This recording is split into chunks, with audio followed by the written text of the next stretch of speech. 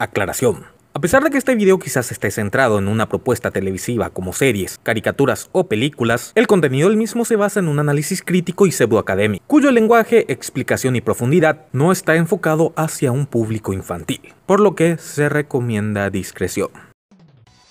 Lo prometido es deuda. En principio todas estas noticias del día de hoy quería añadirlo al video dominguero informativo del día de ayer. Pero debido a que con todas esas noticias el video ya estaba muy largo y no quería extenderlo más porque había muchas cosas que mencionar en cuanto a anime provenientes de Netflix, decidí hacer un video exclusivo abarcando todas las novedades de la gran N roja que no es Nintendo. Por eso les pido que se pongan cómodos y me acompañen a ver qué nos brindó Netflix en cuanto a anime en la semana pasada.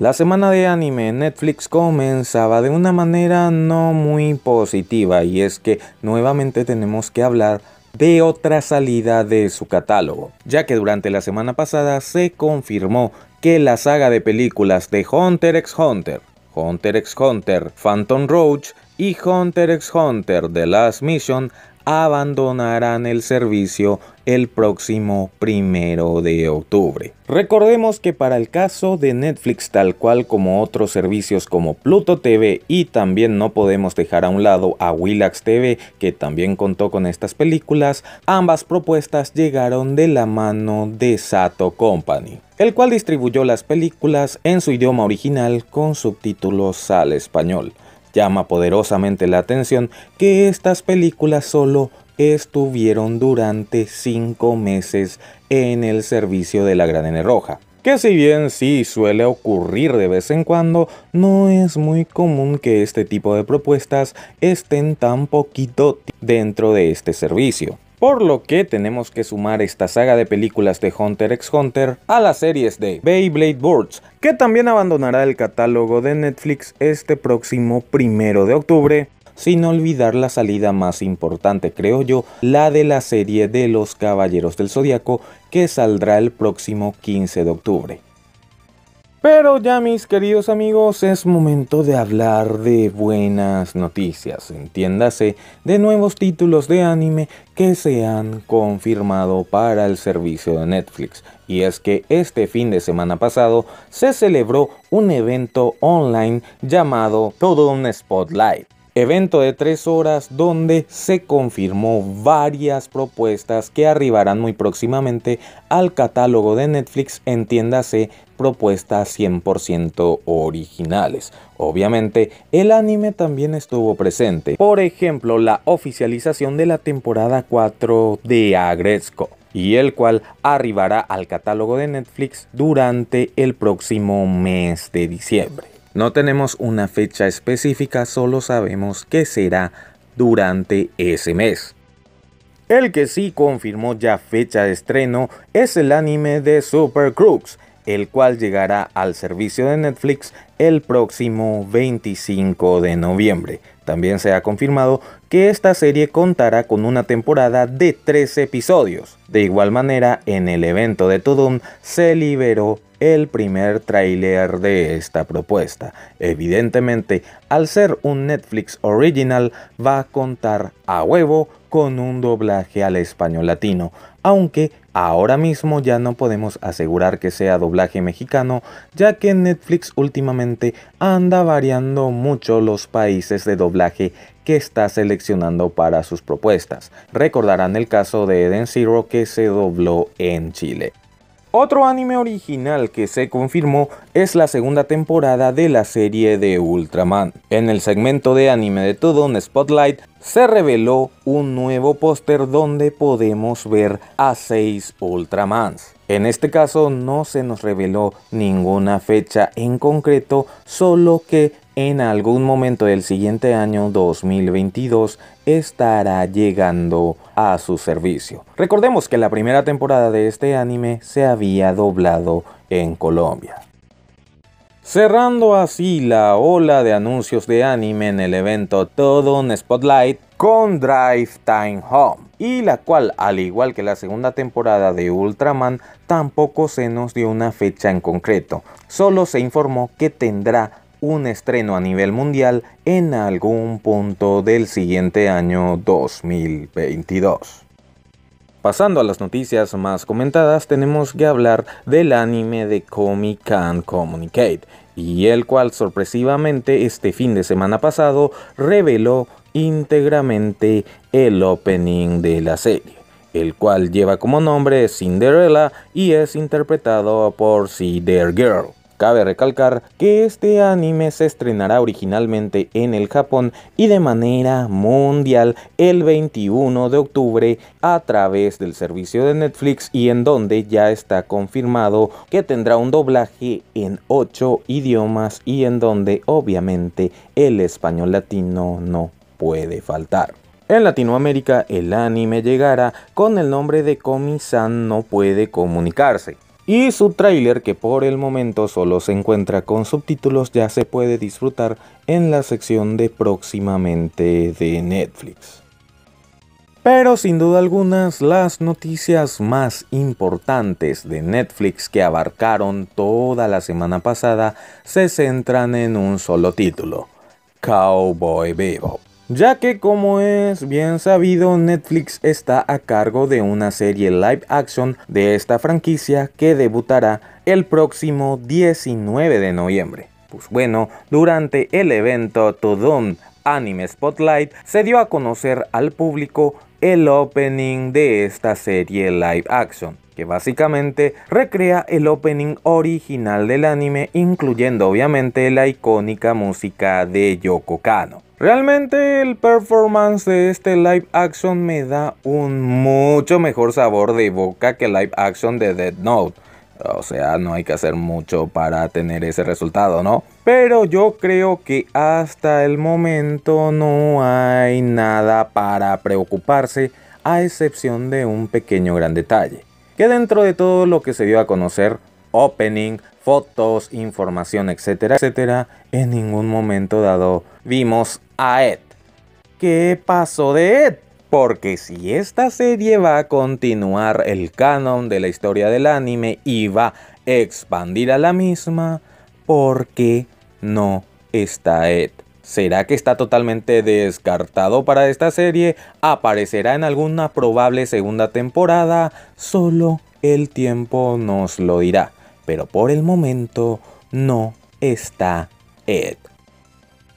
No obstante, las noticias de Cowboy Vivo de Netflix no se quedaron ahí, y es que, fuera del evento celebrado este fin de semana, la noticia más importante sin duda algunas dentro de la gran N roja que no es Nintendo, es que el anime original de Cowboy Bebop llegará durante el mes de octubre al servicio de Netflix. Sí, Sorpresivamente, este icónico anime de 26 episodios salió en la sección de próximos estrenos dentro de la plataforma de Netflix. Llama poderosamente la atención que el anime se esté sumando muy pegado al estreno del nuevo redoblaje de Cowboy Bebop en Funimation, por lo que a partir de aquí se está comenzando a especular con tres opciones. Primero, que muy probablemente tal cual como en Crunchyroll, la serie de Cowboy Bebop no más esté con subtítulos al español.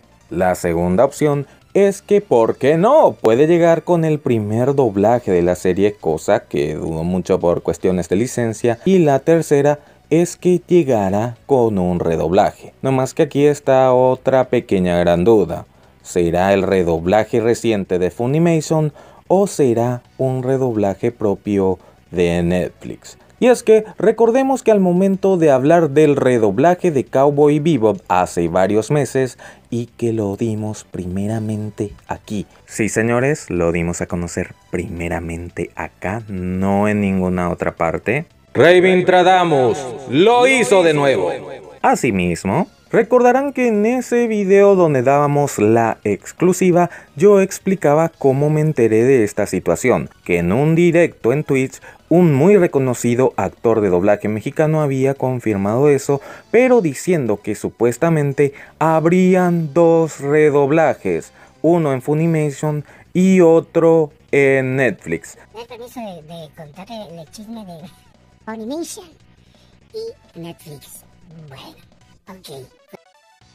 En su momento yo había dicho que este actor estaba confundido porque a lo mejor no manejaba cosas como plataformas, distribuidoras, etc. Pero con esto sí ya me pone a dudar. Yo a partir de acá ya no sé qué pensar y no estoy en condiciones de adelantar ni confirmar nada porque no sé nada. Lo único 100% confirmado es que el anime clásico de Cowboy Bebop arribará al catálogo de Netflix este próximo 21 de octubre y puede que llegue de manera subtitulada, lo cual veo con muchas posibilidades, o con el primer doblaje de la serie, cosa que no veo probable en lo absoluto, o con un redoblaje, ya sea propio o de Funimation, lo cual sí sería sorpresivo y más si es en el caso de un redoblaje propio. ¿Y ustedes qué opinan al respecto? ¿Cómo esperan que llegue el anime de Cowboy Vivo a Netflix? Ya saben, pueden dejarme sus opiniones en la caja de comentarios. Lo claro y lo concreto es que Netflix contará con todo Cowboy Vivo durante este año, tal cual como lo dije en el video donde anticipábamos el redoblaje de la serie. Y obviamente no puedo cerrar este video sin hablar de JoJo's Bizarre Adventure y Netflix, que una vez más dieron mucho que hablar este fin de semana. Y es que en el tráiler promocional del evento de Tudun en la sección de anime aparecía que supuestamente se iba a hablar de JoJo's Bizarre Adventure. Específicamente veíamos escenas de Stardust Crusaders. Muchos se entusiasmaron con esto, esperaron ansiosamente el evento para saber qué tendríamos de JoJo's y al final no pasó nada. Ni siquiera fue mencionado. Nuevamente, otra decepción para los fans de JoJo's Bizarre Adventure. Yo les soy honesto, desde el principio no esperaba nada importante como un anuncio de doblaje latino o cosas así, pero sí esperaba por lo menos una pequeña novedad y al final no pasó nada. Realmente esta relación entre JoJo's y Netflix está cansando un poco, irrita y es totalmente extraño. Pero fuera de eso, con esta pequeña participación en el promocional de Tudun podríamos deducir una cosa que para muchos no es importante pero que para otros sí. Y es que al aparecer JoJo's brevemente en un tráiler de un evento donde solamente se hablaría de productos originales de Netflix y sumado que en los créditos del doblaje brasileño aparece el logo de Netflix Tubing, podríamos entender que el doblaje latino sería propiedad de Netflix. Por lo que también estaría aclarando el muy confuso tema de la licencia de yoyos en Latinoamérica, porque Crunchyroll consiguió la serie de manos de Warner, mientras que Funimation a través de Viz Media en Netflix aparece por el momento el logo de Selectavision y en los créditos del doblaje brasileño está la marca de Netflix. Y sumado a que Stone Ocean será exclusividad de la Gran N Roja, podríamos intuir que los yoyos van a ser propiedad de Netflix. Y sí, mis queridos amigos, me he enterado de alguna que otra cosita más del doblaje latino de la serie, pero que no se los voy a contar aún. Esa información voy a liberarlo en el próximo video de rumores de doblaje, que como ya vengo diciendo, lo sacaré a la luz junto con otros animes que posiblemente tengan un doblaje latino cuando el video anterior de rumores alcance o las 15.000 vistas o los 2.000 likes. Una vez que pase eso, les platicaré de lo que me he enterado.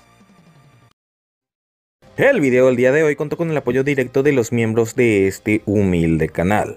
En el nivel super estuvieron ayudando Nathan Martínez, Luis Alex, Ricusan SG, Jovan Díaz, Jorge Rocha, Jeretix X, Francisco Pino, el amigo Satoru, Legión Animes, Diego Cueva, Blake Fonder y Memo Didier. Mientras que en el poderosísimo nivel Mega nos apoyaron Enien al máximo, Daniel G, Soy Caché, Gonzalín y Grader GT, a los cuales le pueden dar un vistazo en sus respectivos canales de YouTube. Si también quieres convertirte en miembro de este humilde canal, en la descripción encontrarás un enlace donde podrás hacerlo y aprovechar las ventajas con las que cuentan los miembros. Dicho sea de paso, le pido a cada uno de los miembros que vayan a mirar la pestaña de comunidad donde hay una publicación específica para ellos. Estén checando, ¿eh? porque pronto habrá directo. Así también si quieres ayudarnos directamente recuerda que puedes hacerlo suscribiéndote a nuestro canal de Twitch